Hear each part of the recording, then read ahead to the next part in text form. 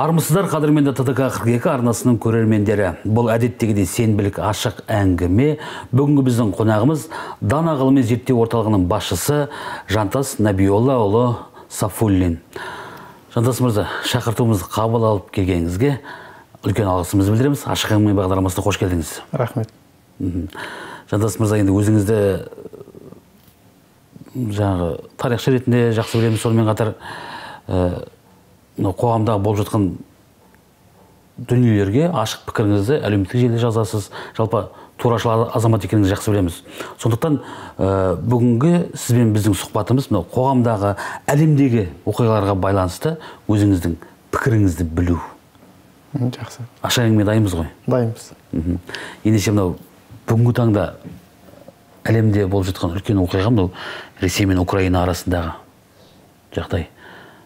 Ресей басшысы өзі айтты енді донецк мен луганскінің тәуелсіз мемлекет деп өзі жар салды әлемге. Одан кейін мынау күні кеше енді қақтығыстар басталды.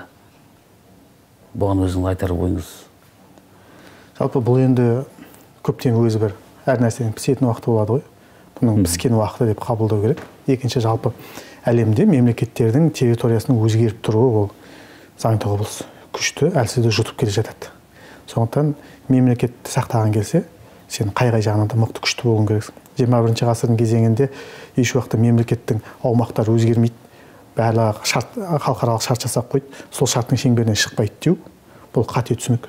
сондықтан да әр мемлекет өзінің әр қалыптасқан күнінен бастап өзінің жаңағы айналасын қымтап өзінің былай айтқанда болашақтағы өзіне жау болатын немесе өзінің территориясына көз алату мүмкін мемлекеттермен байланыстарын сәйкесінше ұстау керек. Жеке мен өзім ойлаймын бұл украинадағы жағдай. Жалпы бүгінгі күннің бір ә, болып жатқан оқиғасы емес. Бұл осыдан 10-15 жиырма жыл бұрынғы украина мемлекетінің басшылығының жіберген қателігінің бүгінгі нәтижесі. Солай деп ойлаймын мен. Осы украинадағы жағдайларға байланысты біздің саясаттанушыларымыз айтып жатыр. Сабақ алуымыз керек біз етегімізді жинауымыз керек. Бүгінде бізге бірлік керек деп. Бізге ә, бірлік ол қай уақытта да керек. Ол сен мықты құдіретті мемлекет болып тұрсаң да сен әлсіз мемлекет болсаң да қандай жағдайда бірлік керек. Бірақ иә сабақ алатын жерлері бар. Мысалға мынадай ә, адамдарға қатысты ә, болған оқиғадан сабақ алатын әртүрлі. Мынадай бір үш категорияға бөледі. Біреу біреудің қателігінен сабақ алады дейді біреу өзінің қателігінен сабақ алады дейді үшінші өзінің қателігінен сабақ алмайды дейді. Біздің мемлекеттің жағдайы шын мәнінде қазір өзіміздің қателігімізден өзіміз сабақ алмай келе жатырмыз. Мен жаңа украинаның осы 15-20 жыл бұрынғы саясатында қателік деп айтып тұрғандығым екі жаңағыдай өздерінің облыстарын өз алдына тәуелсіздігін жариялағанға дейінгі олардың әрекеттері. Олар осындай деңгейге дейін жағдайды ушықтырып алды. Жаңағыдай керек негізгі былай айтқанда өздеріне ресейдің басып кіру үшін бүкіл негізді саясаттың кезіндегі қателігінен дайындалып жасалып қалды. Екі облыстың өз алдына тәуелсіздігін алып осылай республика қылып өзін өзі жариялау үшін де осыған дейін қаншама қателіктер кетті. Бірінші тіл мәселесінде қателік кетті. Ә, халықтың әл ауқатын жағдайын жақсартуға байланысты қателіктер кетті. Осындай осындай қателіктердің барлығы айналдырып келген кезеңде ақыр соңында осындай жағдайға алып келіп душар етті. Енді бірақ бұған қарап ресейдің әрекетін дұрыс деп қабылдау ол да болмайды. Бірақ қай мемлекетте өзінің болып жатқан оқиғасына біреуді кінәлағаннан бұрын бірінші өзім қандай қате жібердім деп ойлану керек. Сондықтан бізде қазақстанда да осыған қарап біз қандай қателік жібермеуіміз керекпіз. Біз бүгіннен бастап нені түзеуіміз керекпіз соған ойлануымыз керекпіз. Соған байланысты біз бүгіннен бастап өте ыждағаттап ыждағатты түрде әрекет етуіміз керекпіз. Бұл оқиғалардың біздің елге сол әсері бар ма? Бұл енді міндетті түрде әсер етеді. Бірінші кезекте дәл бүгінгі күн экономикалық жағдайға әсер етеді. Мысалға бүгінгі күннің өзінде ә, еуропа елдерінің санкция салуына байланысты доллар бүгінгі күні көтеріліп бара жатыр. Яғни бізге сырттан келетін товарлардың барлығы да енді қымбатпен келеді. Яғни бұл біздің халықтың әл ауқатына бірден бір келіп соғады. Бұл экономикалық жағынан алып қараған кезеңде сол жағынан. Екінші біз қазір украинадағы жағдайды айтамыз. Біздің өзіміздің қазақстанда бұдан да сорақы жағдай іште болып жатыр. Біз біз бөтен елге бір елдің әскері кірді дейміз ондай оқиғалар бізде де болып жатыр. Сондықтан біз дәл қазір оларға қарап сабақ алғаннан гөрі біз өзіміздің бүгінгі жіберіп жатқан қателіктерімізді дәл бүгін жұмыс жасауымыз керекпіз. Ал ондағы оқиға міндетті түрде бізге әсер етеді. Осы жағдайларға байланысты белгілі жазушы журналист мұхтар түменбай мынандай өз пікірін қалдырған екен. Дәл қазір қазаққа керегі бірлік деп отыр. Оны өзіміз айтып жүрік қой енді. Қазір өзіңіз білесіз кімге сенерін білмей жүргендер бар. Жік жікке бөлінгендер бар деп. Бұл жерде бірлік емес. Бірлік енді ол қай уақытта да керек. Ол отбасында да бірлік керек мемлекетке де бірлік керек. Ол бүкіл жерде бірлік керек. Бірақ бізге дәл қазіргі керек- керегі тілдің айналасында ұйыстыруымыз керекпіз. Тілдік саясатты бірінші кезекте қолға алуымыз керекпіз. Екінші халықтың қоныстануына байланысты саясатты қайттан қарауымыз керекпіз. Соны ждағаттап түзеуге ұмтылуымыз керекпіз. Егер мемлекеттің ішінде өзінің халқы бір тілде болса және сол тілде барлығы да еркін сөйлейтін болып жатса ол мемлекет тұтастығын сақтай алады. Егер бір мемлекеттің ішінде бір бірнеше тіл бірнеше. алфавит болатын болса ол елдің берекесі қашатыны анық. Ал біз соны өзіміз жасап қойдық қазір. Бұның енді осындай дүниелердің алдын алу үшін қайтпек керек. Қайтадан бәрін басынан бастауымыз керек пе немесе бір белгілі бір жүйеге өзгеріс енгізуіміз керек пе? Бірінші кезекте мынадай нәрсе. Президенттің өзінің былай айтқан кезеңде өзіндік нақты ұстанымы керек. Екінші премьер министрдің нақты ұстанымы керек. Білім министрінің нақты ұстанымы керек. Білім министрі тез арада шұғыл түрде осы жағдайға байланысты қазақстанда бүкіл мектептердің барлығында қазақ тілінде оқыту мәселесі қазақ тілді мектептерді бүкіл жерде ашу мәселесі. Мысалы бізде қазақстанда қандай тәжірибе бар? Кейбір мысалы тіпті осы орал қаласының өзін алатын болсаңыз орыс тілді мектеп таза орыс тілінде мектептер толып тұр. Сол мектептердің барлығы аралас мектеп болу керек.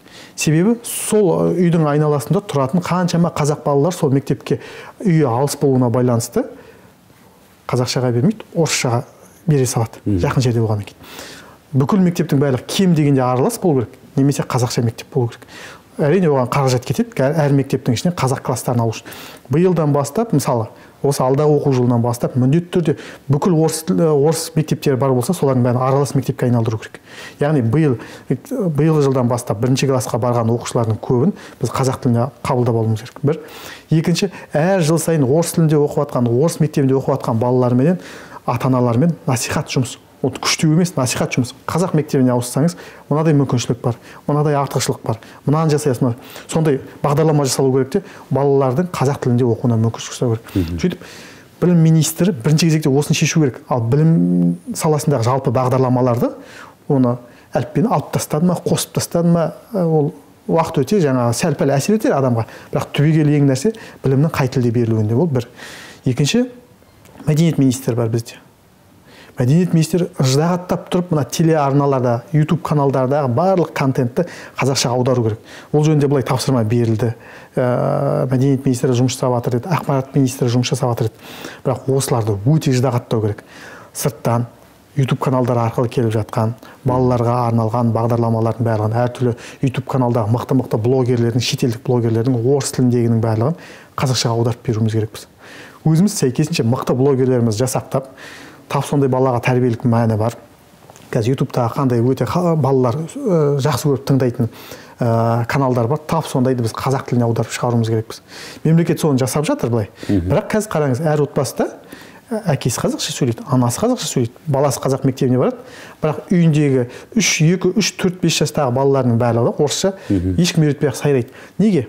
Бұл әлеуметтік желінің де кейбір Бұл әлеумет- ютуб каналдарында бір әсері бар. Ютуб каналдардың әсері. Себебі біз өзіміздің мемлекет осы салаға бүгін қаржы салып осыған бағыттап түземедік па контентті қазақша бермедік па өсіп келе жатқан бала басқа тілдегі контентті қабылдап алады да. Яғни сол тілді игергеннен кейін оған сол тілде қатынас жасау ең ыңғайлы болады. А оларды әрі қарай әртүрлі формада артынан қолданып кету ол ең жеңілі сол. Мына тіл мәселесіне келетін болсақ өзіңіздің орныңызға мына нойдар ағамыз балмолда келген кезде осы тіл мәселесін көтердік. Сол кезде ол ағамыз мынандай деп айтқан кеңес дәуірінде орысша білмесең күніңді күнелте алмайсың деген санамызда қалып қойды дейді. Енді қазір біздер қазіргі бүгінгі біздің қоғамымызда заманымызда қазақ тілін білмесең күніңді күнелте алмайсың дегенді жеткізуіміз керек дейді. Иә дұрыс. Енді ол жерде мынадай нәрсе жеткізу үшін біздің технологиямыздың барлығы қазақшаға сөйлей алу керек. Ә, ақпарат құралдардың бәрі қазақша сөйлей алу керек. Біздің мықты ақын жазушыларымыз балалар әдебиетімен айналысады. Солардың барлығы да түгел шығармаларына мемлекеттің қолдауы керек те олардың барлығын қазақшаға аударып балаларға оқылымды етіп жеткізе бастау керек. Соны мемлекет ұйымдастырмайынша біздер міндетті түрде ұтыламыз ұтыламыз. Содан кейін қазір украинаның жағдайы ықтималдығы бізге де ә, тәжірибе ретінде қолдану ықтималдығы бар.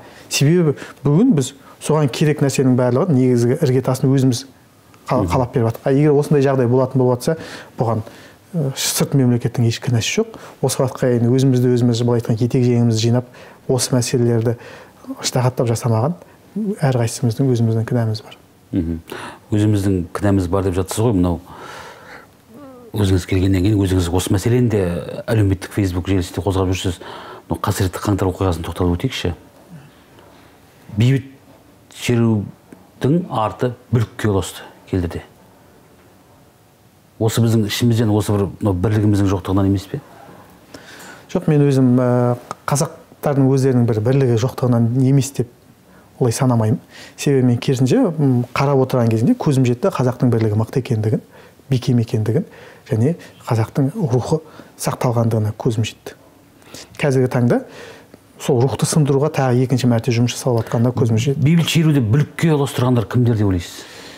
Бұл мәселенің барлығына түбегейлі қазір қолымда толыққанды мәлімет дерек болмағаннан кейін мен шешіп айта алмаймын. Бірақ ә, шынымен де ә, әлемдегі мемлекеттерді ыдыратумен айналысатын империялық мемлекеттердің қатынасы бар деп есептеймін. Себебі олардың барлығы да осы. Біздің ішкі жүйемізге біздің мемлекетті басқарушы адамдарымызға әсер ету ә, күштік құрылымдарға әсер ету жалпы қазақстанның бүкіл ішкі жүйесіне араласуды олар әдетке айналдырған. Біз қанша оларды араластырмасақ десек те байқалып тұр солардың араласын солардың қолдарының ізі бар екендігі сондықтан бұл жерде уақыт өте келе белгілі бір уақыттан кейін бұның барлығы ашылады. Қолымызда бүкіл ақпарат келгеннен кейін содан кейін барып біз нақты айта аламыз. Мынаның мынаның. Дәл қазір мен өзім мысалы дөп басып мынаның себебі мынаның кесірінен біз осылай болды деп айта алмаймын себебі маған толыққанды қолымда дерек мәлімет жоқ. Ал мынау енді сол кезде шеруге шыққандарды бүгінгі таңда кінәлісі бар кінәлісі бар азаптап жатыр. Азаптаулар жайлы көп айтылып жатыр. Оны өзіңіз де әлеуметтік желіде жаздыңыз. Тіпті президентіміздің өзіне ашық үндеу жасадыңыз иә? Иә әлеуметтік желі арқылы. Мен жалпы президентке біздің президентке ең бірінші кезекте ресми түрде бұл коронавирус өте қатты өршіген кезеңде өзімнің эцп мен тіркеліп ол кезеңде қалалық мәслихаттың депутаты болдым тікелей өзіне хат жолдағанмын сол кезеңде айтқанмын халық қырылып жатқан кезеңде жалпы бұларды ыждағаттап алдын алуға болатын мүмкіншіліктеріміз бар. Медицина саласында жаңа халықтың деген жаппай ақша жинап барлығы больницаларға бір құрал жабдықтар ала бастады ғой. Соның барлығы мемлекеттің есебінен алуға болатын еді. Сондай басқа да жағдайларды айтып жазған. Ал мына жағдайда қаңтар оқиғасынан кейін бұны тек әлеуметтік желіде біздің қолымыздан не келеді? Әзірге осылай өзіміздің үнімізді білдіріп халықтың сөзін халықтың бір өкілі ретінде өзіміздің сөзімізді ұстаным позициямызды мемлекетке көрсету жеткізу үшін ғана бұл айтылды. Ресми емес бұл бейресми әлеуметтік желі арқылы жасалып тұр. Бұнда ә, біздер қазір көріп тұрмыз қаңтар оқиғасынан кейін ә, қаншама адам бірінші кезекте ұсталды. Екінші кезекте олардың барлығы да көпшілігі өте қатты азаптауға ұшырады. Соның ішінде қырғыз елінің мықты бір әншісін yeah. ұстап алып оны сабап сабап содан кейін ә, ол қырғызстанның бүкіл президентінен бастап ұлттық қауіпсіздік комитетінің барлығы көтерілгеннен кейін барып бүкіл тек қана тек қана сол жігіт емес бүкіл қырғыздарды шығарып жіберуге мәжбүр болды да. Осы жағдайда мен өзімнің түсінігімде өзім заңгер ретінде құқық саласының маманы ретінде мен ойлар едім. Президент тікелей тапсырма беру керек. Еді осыған қатысты адамдардың барлығын түгелдей жинаңыздар. Көшпелі сот жүргізу өткізуге болады. Кей жағдайларда көшпелі сот отырыстар жүргізіледі. Тап сол жерден ашық түрде көшпелі сот сотты өткізіп соған кінәлілерді бірден жазалап соған кінәлі адамдардың барлығын бірінші кезекте дүние мүлкін түгел конфискацияға жіберу керек. Ол үшін заң енді біздің қазір оған мүмкіншілік береді соған сәйкес қылмыстық кодекске қандай өзгерістер керек жылдам жасап имущество конфискация жасалып кімдерге зиян келтірді? Зиян келтірген адамның барлық дүние мүлкін алып кімге зиян келтірді? Соның отбасына түгел бергізу керек. Менің өзімнің ішкі ойым солай. Сонда бұл не нәрселерді шешеміз? Бірінші кезекте мемлекеттің есебінен біреуге жақсылық жасау емес кім жамандық жасады соның есебінен жасау керекпіз. Ол бір. Екінші ә, жаңағыдай адамдарды аяусыз азаптаған адамдарды қылмыстық жауапкершілікке тартуымыз керекпіз. Бізде осы жөнінде президентіміздің өзі айтты ғой шаш ал десе бас алатындар болды ол жерде деп. Осы аяусыз азаптағандар бүгінгі таңда жазаға тартылады деп ойлайсыз ба? Жеке мен өзім жазаға түптің түбінде халық тарту керек қой негізі. Халықтың қазіргі ашу ызасы екінші фазаға көтеріліп келе жатыр. Халық бұрындағыдай енді бұны бүкпейді. Сондықтан ә, белгілі бір деңгейде жазалайды.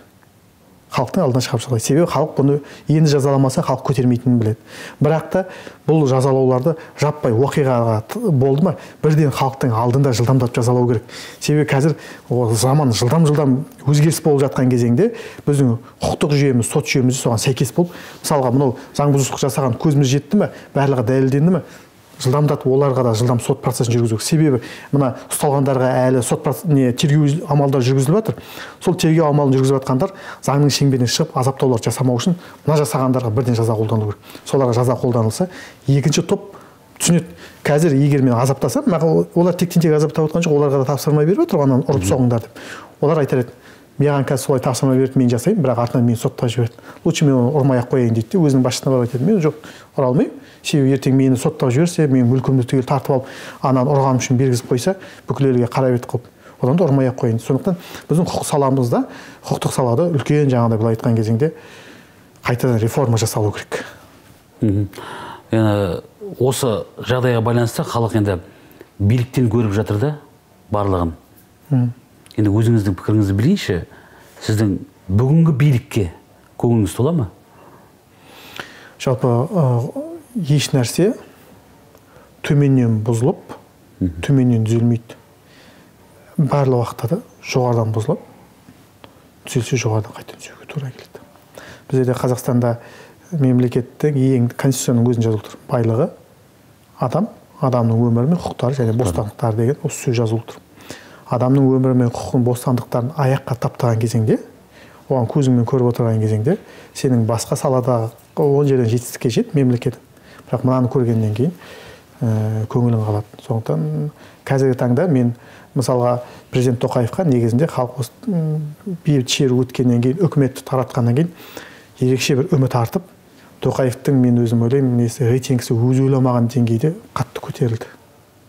Бірақ ә, қазіргі реформалардың жүзеге асыруына қарап халықтың қайтадан сол сенімі қайтадан төменгі деңгейге түсіп кетті деп өзім ойлаймын.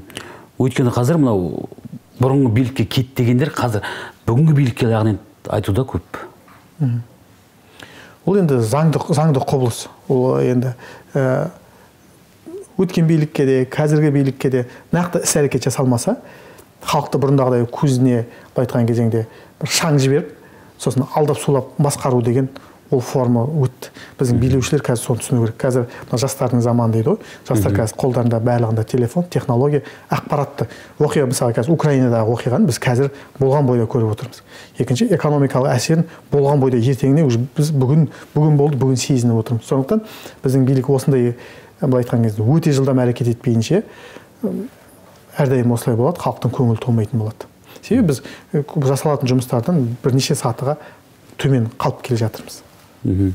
Және бір бізді қынжылтатыны осы жаңа билік ауысқаннан кейін көзіміз жетіп жатыр. Бұрында білеміз ғой қазақстан мүлде жемқорлыққа батып кеткенін көріп жатырмыз. Оны президентіміздің өзі де айтты қазақстанның байлығын жүз алпыс екі адам ғана иемденіп отыр екен деп. Енді ол жерде мен енді өзім былай ойлаймын мен қазір мына саяси қуғын сүргін құрбандары бойынша саяси қуғын сүргін құрбандарын жиырмасыншы ғасырда соларды ақтау жұмыстарымен айналысып жатырмық жалпы мемлекетте әртүрлі жылдарда байларды тәркілеу деген сияқты жобалар жүргізіліп отырады. Президентке толық халық өкілеттілігін берді. жүз алпыс екі байдың бар екенін анықтады ма? жүз алпыс екі байды енді мүлкін түгел тәркілесін. Халық оған неге қазір мүмкіншілік беріліп тұр ғой. Халық сенді. Осы қаңтар оқиғасынан кейін билік өкілеттілік қолында. Сондықтан жүз алпыс екі бай барды өзі біліп отырса себебі халық оның кезінде жүз жиырма ма екі жүз ба жүз сексен ба ешкім білмейтін еді ғой. Оны президент өзі айтты жүз алпыс екі яғни өздерінің бір критериясы бойынша есептеді сол жүз алпыс екі байды табу керек. Бұның барлығы енді біз қазір жемқорлық деп айтып жатырмық қой. Мемлекеттегі оның барлығы түсініп тұр. Осы бұрындағы жүйе сол жүйедегі мемлекеттік қызметте болған адамдардың табиғи қазба байлықтарымыздың шеңберінде тағы тағы сондай шеңберлерде көптеген жаңағы мемлекеттің былай айтқанда халықтың қаражаты жекелеген адамдарға кеткен. Соларды енді президент көрді. Енді өзім ойлаймын мүмкін. Президентке қазір олардың барлығын бір күннің ішінде бүйтіп суырып суырып алып келу мүмкін емес шығар мүмкін шынымен де былай айтқанда күш жетпей отырған шығар бірақ түбінде сол қаражатты халықтың игілігіне қайтадан жұмсаса онда жақсы болады деп ойлаймын. Президентімізге уақыт пен мүмкіндік беру керек шығар мүмкін. Оны енді уақыт керек шығар. Енді бұл уақытты біз керек дейік керек емес демейік. Шын мәнінде бізден сұрап жатқан жоқ. Өздері отыр өздері билеп жатыр. Сондықтан бұл жерде қазір біз керек деп айтсақ та керек емес деп айтсақ та біздің сөзімізден ештеңе келіп кетпейді. Сондықтан мүмкіндігінше шеше алғанша шешсін өздерінің осы міндеті мынау байсекештер жолы жөнінде мынау өзіңіздің фейсбук желісінде мына жазбаңыз маған қатты ұнады. Қазіргі бай дегендеріміз мемлекеттің яғни халықтың мүлкін талан таражға салып қазба байлықтан түскен қаражатты заңсыз иеленгендер. Сондықтан бұларды бай дегеннен гөрі дүние қоңыз деген дұрыс болар деп жазыпсыз. Бірақ өз ақылы мен еңбегінің арқасында кәсібі өрлеп жағдайы жақсарғандар мүлде жоқ деп айтуға болмайды. Олар бар әзірге аз. Осы жазбаңыз қатты ұнады маған. Енді бұл рас нәрсе себебі біздерде неге байлар түбегейлі жойылып кетті? Мысалға өте аз.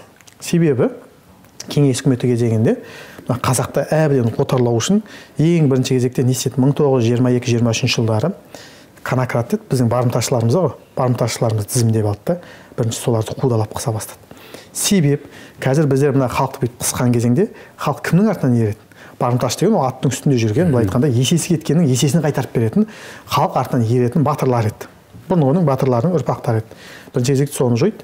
Екінші кезекте халық бір жаңа халықтың сөзін сөйлей алады ау дегендердің барлығын сайлау құқығынан айырып тастады қазір мысалға с- сайлауда жаңа ә, несін оның ә, несін дауысын ұрлап алатын болса а, ол кезеңде сайлауға қатыстырмайды дейді қауіп адамдар яғни тек қана өздеріне керек дауысты беретін адамдар қалады да керек емес адамдардың барлығын сайлау құқығынан заңмен айырып тастайды да олар құқығы жоқ болып қалады. Бұны неге айтып отырмын? Үшінші ә, саты жасаған жұмыстары ә, мың тоғыз жүз жиырма сегізінші жылдың қыркүйек айынан бастап қазақ даласындағы бүкіл байларды түгелдей конфискеге жасады олардың біздің байларымыздың тапқан табыстарын заңды жолмен тапты ма заңсыз жолмен тапты ма? Оған ешкім үңілген жоқ. Ең бірінші кезекте ірі байларды жойды одан кейін орта байларды жойды одан кейін кішкене мал мүлкі бар болып жатса солардың бәрін жойды. Тек қана жойып қойған жоқ мал мүлкін тартып алды. Ол мал, ол мал мүлікті содан кейін дұрыс иеленіп пайдаланған жоқ оны еще қырып жіберді. Одан бөлек алды да ол адамдардың бәрін, бәрін қазақстаннан быт шыт қылып қуып жіберді. Жоқ қылды үрім бұтақтарын жоқ қылды бұл деген не деген сөз?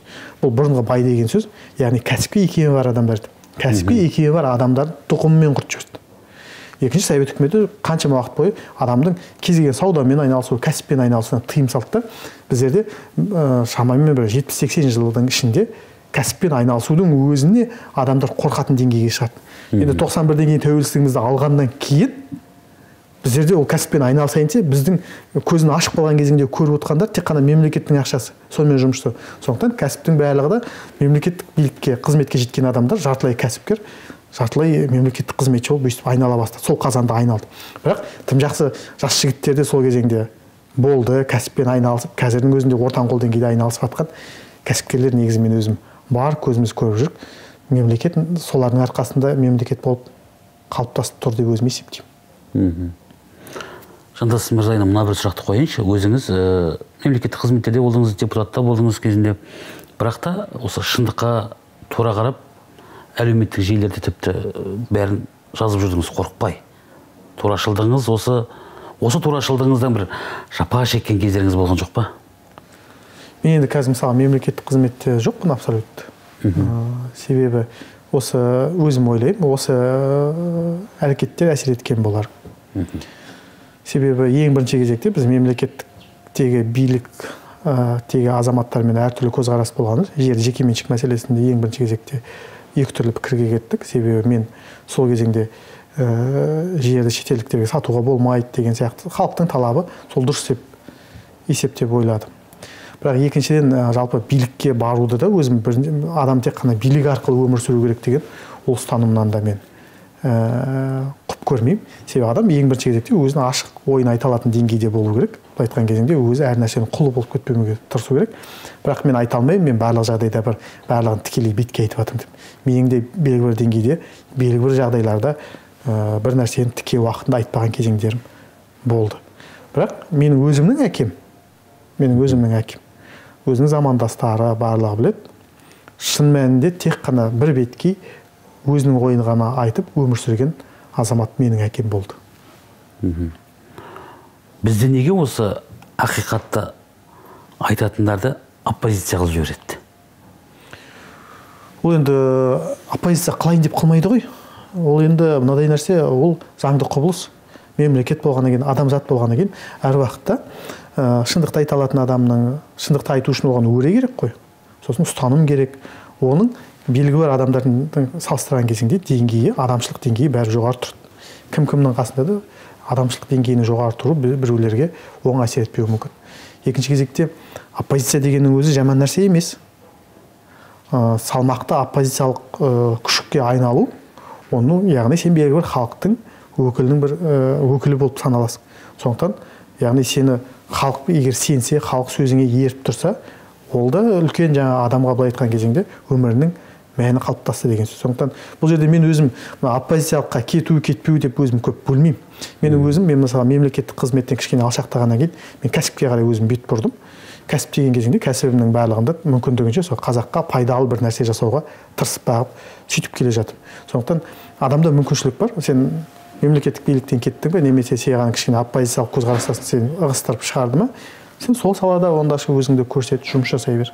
Яғни ренжуге болмайды айналаңа. Билікке де ренжуге болмайды. Сен билікке барғың келе ма онда биліктің ыңғайын соның ішкі құрылымы қандай екен соны көр соған сәйкестен содан кейін өрлей бер өзің өрлегеніңше. Ал оған көнгің келмей ме? Сен оған әрі көнгің келмейді бірақ сонымен қатар билеуші болғың келеді. Оның барлығы адамға бола бермейді. Жаңа айтып өттің ғой шындықты айтсаң сені оппозиция қылып жібереді деп. Мына бір мына бір нәрсеге өзім де көзім жетті. Тіл мәртебесін көтеріп айтсаң қазақ салт дәстүріңді айтсаң сені ұлтшыл қылып жібереді.